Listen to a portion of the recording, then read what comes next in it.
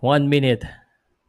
Again, good showing by Liam Wilson. If you're watching this and uh, you know that Emmanuel Navarrete is the heavy favorite, you know, you would say na, okay, uy, natamaan si Emmanuel Navarrete. He's wobbled. He's wobbled here. Oh, left hand. He's about to go down. Emmanuel Navarrete is in big trouble. He's he's down. He's down. That's a knockdown. That's a legit knockdown. Oh my goodness. And he's having a hard time to get up. What? Eyes. Di ako kapaniwala, guys. Em- shoot.